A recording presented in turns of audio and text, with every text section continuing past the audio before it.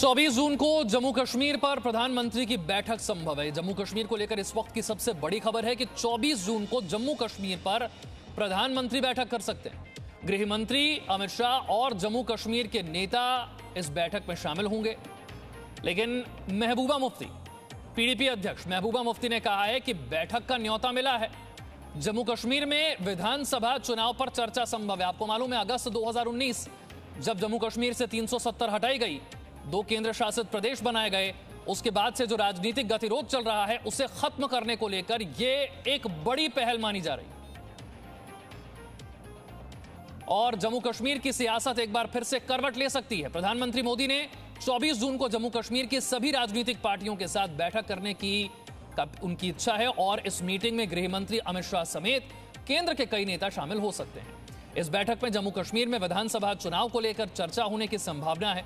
और अनुच्छेद 370 खत्म होने के ढाई साल बाद पीएम मोदी कश्मीर के नेताओं के साथ ये बैठक करने जा रहे हैं। जम्मू कश्मीर में राजनीतिक गतिरोध को खत्म करने के लिए केंद्र की ओर से ये एक बड़ी पहल मानी जा रही है। 24 जून को प्रधानमंत्री मोदी ने जम्मू कश्मीर की सभी राजनीतिक पार्टियों के नेताओं के साथ बैठक करने वाले हैं और ऐसे में जम्मू कश्मीर में सियासी हलचल शुरू हो गई है। पीएम की पहल पर सियासी पार्टियों ने इस पहल का स्वागत किया। केंद्र सरकार ऑल पार्टी मीटिंग बुला सकती है ये जम्मू कश्मीर के डिलिमिटाइजेशन के लिए इस तरह की खबर आई है क्या कहना चाहते हैं अच्छी बात है अगर ऑल पार्टी मीटिंग में इस बारे में चर्चा होती है तो ज़रूर हम उसमें शामिल हो। मेरी जानकारी के मुताबिक कल मेरी स्टेट प्रेसिडेंट साहब से बात हुई थी तो इस तरह का ऑफिशियल अभी तक कुछ है नहीं। लेकिन मुझे लगता है कि जिस प्रकार से जम्मू कश्मीर में काफ़ी देर से ब्यूरोक्रेसी काम कर रही है, धारा 370 टूटने के बाद तो हो सकता है कि पोलिटिकल प्रोसेस शुरू करने के लिए इस प्रकार का कदम उठाया जाए। तो कुल मिलाकर के अच्छी बात है, होना भी चाहिए।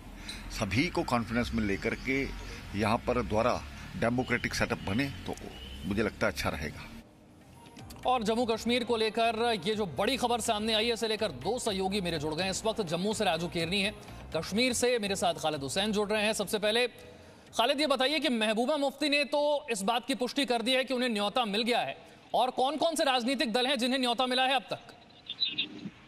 देखिए, फ़िलहाल अगर हम देखें तो सूत्रों के हवाले से जो अब तक खबर पहुँची है, जो पीडीपी के भीतर लोग हैं, हमारे उनसे बात करने के बाद पता चला कि महबूबा मुफ्ती को एक फ़ोन कॉल रिसीव हुआ है केंद्र से, जिसमें उसे न्योता दिया गया है कि वो 24 तारीख को प्रधानमंत्री और गृह मंत्री जो बैठक ले रहे हैं जम्मू कश्मीर पर, उसमें शमूलियत करे। हालाँकि उसने ये कहा है कि वो पार्टी के सभी सदस्यों से इस मुद्दे पर बात करेगी और उसके बाद कोई जवाब देगी। लेकिन बाकी दल चाहे नेशनल कॉन्फ्रेंस हो या पीपुल्स कॉन्फ्रेंस हो या फिर सीपीआईएम हो, इनके किसी भी, जिस भी नेता से अभी तक हमने बात की है, उनका ये कहना है कि उन्हें कोई भी कॉल अभी तक रिसीव नहीं हुआ है। लेकिन ये ज़रूर है कि 24 तारीख को एक महत्वपूर्ण बैठक हो रही है जम्मू कश्मीर को लेकर अनुच्छेद तीन सौ सत्तर, जो अगस्त 2019 में यहाँ से हटा दिया गया था जम्मू कश्मीर से। उसके बाद से ये पहली बहुत बड़ी राजनीतिक पहल होगी अगर ये बैठक होती है, जिसमें ऑल पार्टी जो जम्मू कश्मीर के हैं, उन सभी बड़े नेता होंगे और साथ ही साथ केंद्र के नेता होंगे, गृह मंत्री रहेंगे, खुद प्रधानमंत्री रहेंगे तो कई मुद्दे हैं जिनको लेकर बातचीत हो सकती है, जिनमें स्टेट हुड का मामला है, जिसकी यहाँ बहुत मांग हो रही है, जैसे यहाँ पर आ, जो आम आदमी पार्टी है, या अल्ताफ बुखारी की पार्टी है, वो मांग कर रही कि स्टेट हुड को वापस जम्मू कश्मीर को दिया जाए, वो जो है कहीं ना कहीं इस बैठक में शामिल हो सकते हैं, और इसके अलावा डिलिमिटेशन प्रोसेस है, इसके अलावा विधानसभा के चुनाव है, क्योंकि 2019 अगस्त से लेकर अब तक यहाँ ब्यूरोक्रेसी का ही पूरी तरह से राज रहा है और राज्यपाल शासन रहा है।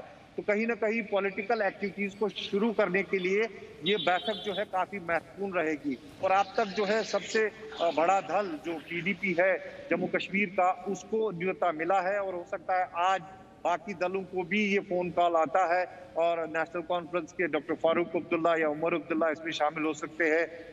सी पी आई एम के यूसुफ तारिक आमी पीएचजीडी जो पीपुल्स अलायंस फॉर बुखार डिक्लेरेशन जो सात दलों का एक गुट बना था, उसमें हालाँकि सज्जाद गनी लोन फिर बाहर निकल गए वो लोग इसमें शामिल हो सकते हैं। तो इस लिहाज से पॉलिटिकल एक्टिविटीज़ को फिर से एक बार जम्मू कश्मीर में करीबन ढाई साल के अंतराल के बाद शुरू करने के लिए एक महत्वपूर्ण बैठक होगी। और कहीं ना कहीं जो इन पॉलिटिकल लीडर्स का भी ये बहुत टाइम से, तब से ही ये प्रोसेस रहा है कि पॉलिटिकल एक्टिविटीज़ यहाँ फिर शुरू हो और उसके बाद जो है यहाँ पर कोई बात देखिए जो राजनीतिक गतिरोध है ये खत्म करना बहुत ज़रूरी है खालिद जो आप कह रहे हैं। मैं राजू केरने का रुख करूँगा। राजू पिछले कई दिनों से संकेत मिल रहा है जम्मू कश्मीर को लेकर कि कुछ बड़ा होने वाला है। क्या जो बड़ा होने वाला है उसका संकेत इसी मीटिंग से निकलकर सामने आएगा?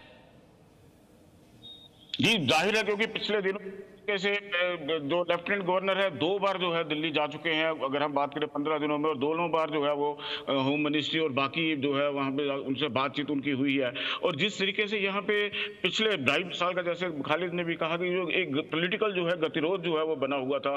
पोलिटिकल पार्टीज़ पहले जो है बातचीत करने को तैयार नहीं होती थी। और अब पिछले दिनों से जो संकेत दिए हैं, नेशनल कॉन्फ्रेंस ने पीडीपी ने, और कांग्रेस की तरफ़ से भी लगातार ये संकेत मिलते रहे हैं कि अगर उनको बुलाया जाता है, डिलिमिटेशन कमेटी की मीटिंग में भी कमीशन की मीटिंग में भी अगर बुलाया जाता है तो वो ज़रूर जाएँगे अपने लोगों की बात रखने के लिए।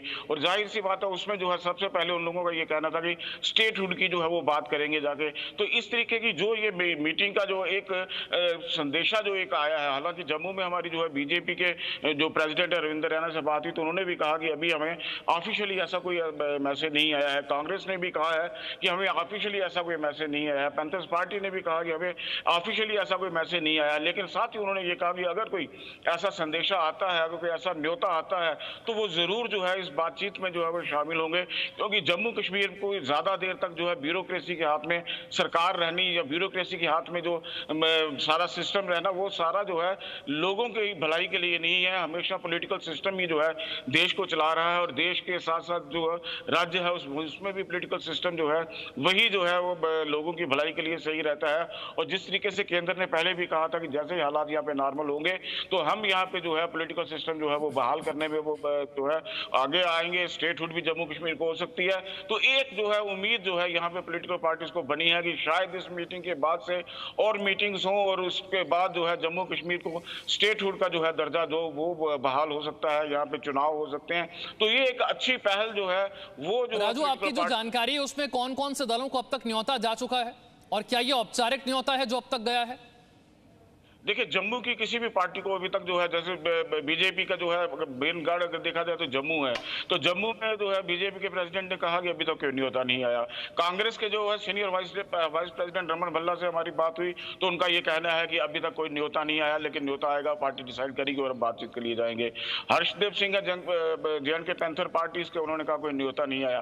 तो फ़िलहाल जो है, जिनको न्योता नहीं आया, अगर अगर पीडीपी को न्योता आ गया है तो हो सकता है इन लोगों को आज शाम तक जो है न्योता मिल जाए चौबीस तारीख की मीटिंग का और ये भी संभावना जो है जताई जा रही है कि उस मीटिंग को प्रधानमंत्री एड्रेस करेंगे।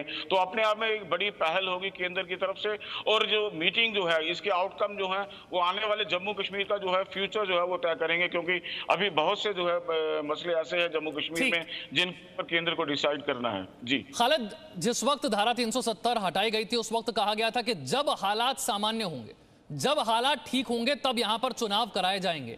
अगस्त 2019 से लेकर अब तक, क्या आज हम ये कह सकते हैं कि हालात बिल्कुल ठीक हैं चुनाव के लिए? देखिए, बिल्कुल अगर हम इस ढाई साल के अंतराल की बात करें तो काफ़ी हद तक जो है, कंट्रोल यहाँ पर हालातों पर हुआ है। और अनुच्छेद तीन सौ सत्तर के बाद जो यहाँ ग्राउंड पे पॉलिटिकल डिस्टरबेंस हुई थी, वो भी सारे बड़े नेता जो थे, उनको अरेस्ट किया गया था।